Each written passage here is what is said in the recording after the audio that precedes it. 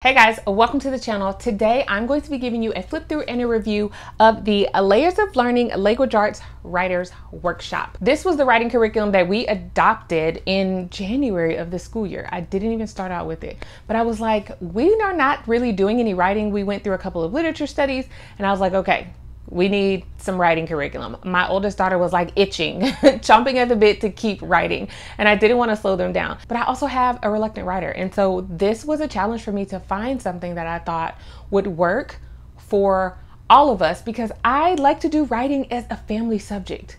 Writing, science, history, art, family subjects in our house. So I was trying to find something that would work for all of us. Just a brief overview, and then I'm gonna give you guys a flip through, and then I'll tell you how we used it, what we liked, and all the things. My name is Morgan here at The Life of Tillmans. If this is your first time, I'm glad that you're here. Okay, this curriculum is a family style creative writing curriculum, period. And when I say family style, y'all, they want the parents in on writing as well. Like it's a whole movement. Everybody is sitting down and using this curriculum and writing every day. I think it's really cool. My girls and I had a pretty good time doing some of the exercises within this curriculum, and it really just made me think even more. Like, I was like, man, I could be a writer. like it made me feel really good about what we were doing. Okay, you're probably wondering age level. It said that the curriculum is from ages 6 all the way up to 18 and beyond. That would include us adults. We're teaching our children. Cost-wise, you can get the PDF, which is what I did. You can get the PDF for $44.99 or you can have the printed version for $69.99. Now, that is if you choose to get all of the units, which leads me to my next point. There are nine units within this curriculum. So you will get this if you order the entire thing. You will get this, which is your nine units. You will also get the writer's workshop guidebook. And this is like your intro to know exactly what you're doing with the curriculum. And you will also get the printable pack. This is one, there is a printable pack for every unit. I printed off recently the poetry one. We did the jumpstart and the second one, which is like sentences or something. So this is your printable pack that you would get. They all come in a zip drive if you do the PDF and you just print them off as you need it. I'm gonna show you guys a flip through of all of this in just a second. On top of that, there are supplements that you can add in. One of them is word work, which gives you spelling and vocabulary to go along with the curriculum. There is also an additional unit that is called research. Now, this is for your teens and up, and this basically teaches your child how to write a great research paper. As I said, they suggest that it's for teens and up, but that is an additional thing that you would buy if you want your child to do the research. In all, this curriculum is going to cover your grammar, your spelling, your mechanics, writing genres, and it teaches the writing process. All right, I think that's it for logistics. I'm going to flip the camera around and let you guys see into this curriculum. Okay guys, let's do a flip through of the Layers of Learning Language Arts Writers Workshop. Now this is the guide on how to create a writer's workshop. This is very detailed. And when I mean detailed, it means it talks about creating the perfect, I say perfect, but creating the environment for your child to freely write like a writer's corner and having the right amount, you know, having pencils and markers and paper and a journal. It talks about all of those different things. Within this, in the beginning, it says all the titles in the Writer's Workshop series are the Writer's Workshop Jumpstart, sentence, paragraphs, and narration, description and instruction, fanciful stories, uh, poetry, true stories, reports and essays, letters, and persuasive writing. Your supplements are going to be your word work and research paper. The guide for the parent or teacher is this book that I'm showing you right now. And this really helps you to envision how you're going to set up this writer's workshop for your child to really inspire them to write. That is the entire goal. That your child is inspired by what they see around them and the things that are set up for them. So, this talks about what's in the guide. And this is how to create a writer's workshop. And as I said, y'all, it goes into detail as to, you know, the pencils and all the things that you need. How to create your writer's workshop. You have different exercises, you have mini lessons, project ideas bank, a printable bank, and then it talks about your supplements. That is inside of each unit. It also talks about the WordWorks, which is your vocabulary and spelling, and the research paper for your teens and up. The planner, Layers of Learning Planner, is intended for mentors who are using the Layers of Learning program. I did not set up a planner, y'all. I'm just letting y'all know that. A quick glance at the day. You start, they start with word work. So in this, and it's written by two sisters. I need to go back and share that with you guys, um, but I will. It's written by Michelle and Karen, and they are two sisters who came up with this curriculum. It talks about how they go through their day, and you read this, and it really just helps you to see what it is that they did and how to make that fit for your family.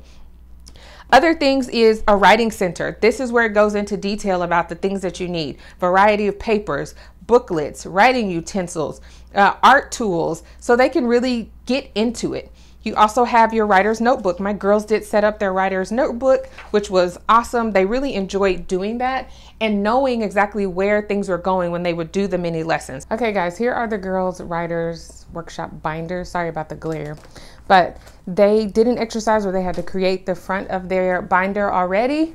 And then we got to set everything up. And so one of my daughters has her fourth grade journal in hers. Then we have a journal section and they did different activities in there. There's also a writing section. And that's where if they want to take something through the writing process, they can. Then they have the word work section, which we made that, but we really didn't use it unless they came across some words that they really didn't know or something like that, then they would put them in here. We talked about that, but we actually never used it. The writing helps section, and they had different exercises to do writing helps, and then they had the ideas section of their notebooks. So there's a journal section, a writing section. We did not do a word work section because they do vocabulary and spelling for a different curriculum. The writers writing helps section and then the ideas section. This is word work family style where you're going over vocabulary and it talks about how you can do that family style. There are written activities, manipulative activities, physical and verbal activities. You're going to get all of that within this curriculum. It also talks about the mini lessons, to teach in small doses. That is the purpose of the mini lessons. It's like a warm up.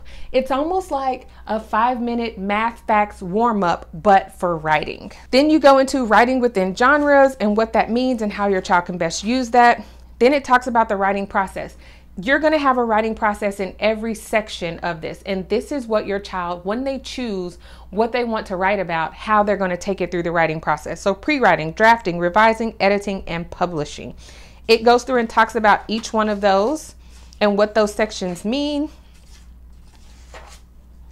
And then how to evaluate the writing. If you're grading your child's writing, there is a six traits of writing rubric that is also here. There are sentence fluency, voice. Voice is your own personal touch. Writing should sound like you. So this encourages your child to really write how they feel and what they want to write about and how they want to write it and not do it based off of what mom and dad wants or what big sister or little sister is doing. It focuses on what your child wants to do and how to do it. There are five levels of writing modeled writing, shared writing, interactive writing, guided writing, and then you also have independent writing. It all depends on where your child is. It says with any writing assignment, there are also five levels of writing that can use that you can use to accommodate different levels of students. This gives you suggestions as how you can make the curriculum better suited for your 17 year old and your six year old and your 12 year old. Okay, so this section I love because this says some roadblocks to steer clear of. These are things that you don't want to do when it comes to writing. And this is really helpful because you don't want to, as this one talks about, over planning or over scheduling, because this is like free form writing. They are to enjoy the process. If you pile on too many things, they're not going to get it done and then they're not going to like it. So, over the top expectations, focusing on the product over the process. You want your child to learn the process. So, we're not nitpicking at um, all the things like spelling and vocabulary and punctuation. We are going to address those things, but we're not going to harp on those things. It says forgetting that writing is developmental and skill based, not fact based. A crucial key to having a successful family style writer's workshop is recognizing that not everyone will be at the same skill level, even if they've heard the same many lessons. Diversifying, allowing your children to be on their level, but still doing it as a family a final notes, and then it says time to get writing. I did the PDF of this and I just had it spiral bound at um, FedEx, which made it easy. So there's that. Okay, then you have your writer's workshop. This is the family style writing. This is the actual curriculum that you're gonna get into. It has what's in the guide, different things like talks about the uh, word work, the research paper, how to use the guide, talks about scheduling, sidebars, the printable packs. I'll show you that in just a minute and additional resources. So we go into all of the different sections. There are nine writing sections and then you have mini lesson index in the back. So here's where it happens. All of your mini lessons are on the side. All of your exercises are within the middle. This is the Writer's Workshop Jumpstart. Everyone is to start here. So if you use this year after year, which you can because you can go through and pick different things, I put a check mark in the boxes of the lessons that we completed. And so when we go back to it, we won't do those same lessons. We'll pick something else. But here it talks about the mini lesson and what that means. Then step two, you go into the writing. This is where you get your exercises. So in the mini lessons, you're just gonna go and pick a mini lesson. This is anywhere within the Jumpstart. So as you can see, the Jumpstart has several mini lessons on the outside, several of them. We're still in the Jumpstart. So we're talking at least six mini lessons per page here, or three per page. We're going into, we're still in the Jumpstart section, guys. All of this, and there are tons of mini lessons for your child to work on. This is it, okay? So you're gonna pick, you can flip through those, you can pick whatever you want. This one is design a custom cover for your writer's notebook. We did that so that the girls could enjoy doing that and getting started. Um, there's also pronouns. We worked on that. This one is sketching a picture is a good pre-writing activity to generate ideas. Allow your child to sketch, kind of get their mind going. As you can see, I put a B here for Brenna and an M for Maggie. They didn't always do the same things. Here's things I love. The mini lessons are intended to be 10 minutes or less. Some of them are five minutes. Like there's one where it just says just write. This one, it says, if you write every day, you'll get better at writing every day. The activities in the writer's workshop are called exercises because, like exercise builds endurance and muscle, daily writing builds writing stamina and skills. Use your writing time well. Wasted time creates waste, but writing creates writing. So set a timer for one minute. And then the next day you come back and you just work your way up to five minutes of quick writing. Uninterrupted, your child is going to write. This was really awesome. We did this several days. So then you get into your exercises. You can choose the different exercises and how you want your child to do it, which one you want your child to do. You can give them options and they can pick. It's completely up to you as to how you want to do it. As you can see, Maggie was working hard in here. Brenna had moved on to something else by this time. Oh, she was in the writing process. Okay, let's talk about that. So your child may get to a point where they say, okay, I'm ready to take my topic. There's lots of brainstorming ideas in here. I'm ready to take my frogs go fishing topic to the writing through the writing process. So you will go here, the writing process. Pre-writing, your child will do pre-writing. Now, you can either have them do pre-writing off of what this says, or they can do pre-writing off of the topic that they're choosing. I did have my girls do pre-writing and drafting on these specific topics just to get them accustomed to doing it. So they did that. They did not take the topics all the way through the writing process. Brenna, once she completed these, she was ready to take her own topic through the writing process. So we made sure that she had done pre-writing for it, drafting, then it goes into revising, you go into your editing and your publishing. That is the entire process for writing and taking it through the writing process. This is an exercise, a tour of the writing process. So it just gives you more details as to how someone took something through the writing process. This is a specific example about Tyler and what he did. So that's what you're going through. And the title of his was Fish Boy, and this is the end result of Fish Boy, the end. Okay. Analyzing the writing, there's six traits to writing, and some of these things will send you, some of the exercises will send you to the packages that I'm going to show you here in just a moment. Then you have more on your writing process. Now we're still in the jumpstart portion of it as well. So all of these things, okay? Jumpstart Idea Bank, this is to kind of give your child more ideas. I love it that you get to choose, and it is set up the same way for each one of the sections. You're going to have your mini lessons here, you have your exercises, and then they have an opportunity to take something through the writing project here. Writing project, and they'll just go through and follow all of that. Okay, now let's talk about the printable pack. For each one of the nine units, there is a printable pack. And in this printable pack, you'll find different things. These things are often referenced within the curriculum here. So let's see if I can find one really quick on poetry. And give you guys an idea. It says you will need the single die and the roll the poem printable from the printable pack. So let's find roll the poem. Okay, here is the roll the poem. What you're gonna do is it says you will need a single die and the roll the poem printable from the printable pack for this exercise. Here is the roll the poem printable, which is inside of the poetry printable pack. So oftentimes some of the exercises will refer you to these specific worksheets within the printable pack. Every unit has a printable. So this is nice. You can make copies of it. It's family style, so you do have the right to make copies of it for your child. And you just go through and whenever it references a specific title for this, then you go through and you find it for your child or children and they will complete that exercise using whatever sheet is here for them or whatever sheet it referenced for them to use. And that's how the printable pack is used within the exercises for each unit. Okay, now that you've seen inside the curriculum, y'all don't mind this. I, I said that earlier, but my printer was on a different level that day.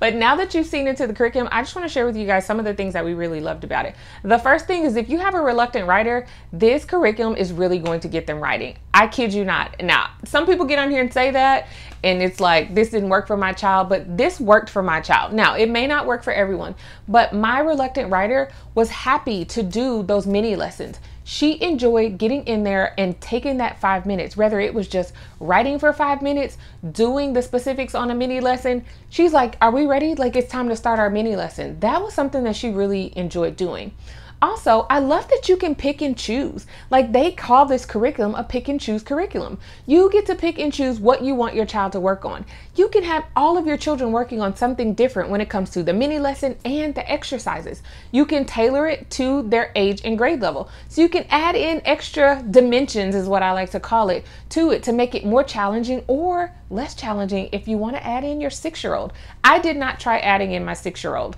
We are still learning how to read and write and all the things. So I didn't add her into the curriculum, but she could definitely have done uh, some of those things verbally with me and not had to write anything down.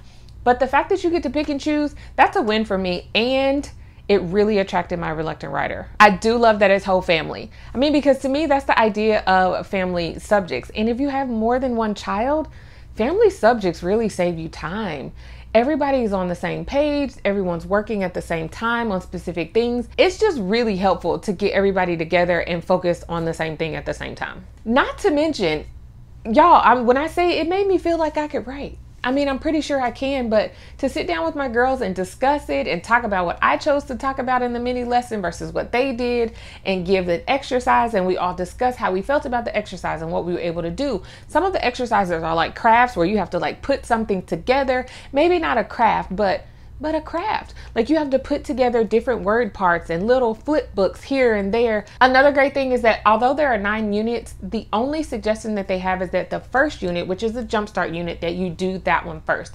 Otherwise, you can pick whatever units you want. You don't have to go in that specific order. So if your child is like mine and they're interested in poetry, that is going to be the first unit that she is going to do for the upcoming school year. Another thing that I really like about it is that they get to choose what they want to take through the writing process they're not being forced to write about one specific thing. For my reluctant writer, that is the key to it all. She gets to choose what she wants to write about. I'm not giving her a topic and saying, hey, I want you to write about this, this, and this, and it's something that doesn't speak to her.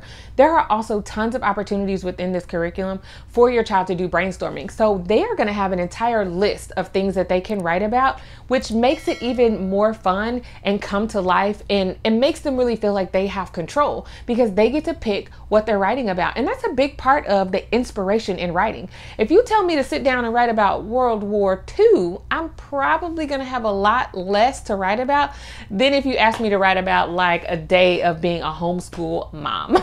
I'm just saying, interest in the writing helps the child be able to write. So you're probably wondering, like, okay, you said you were going to use this and you haven't finished. Here's what I'm going to do, and I explain this in my curriculum video. I will put the link down in the description and put it at the end of this video, but this curriculum is now going to only be for my rising fifth grader.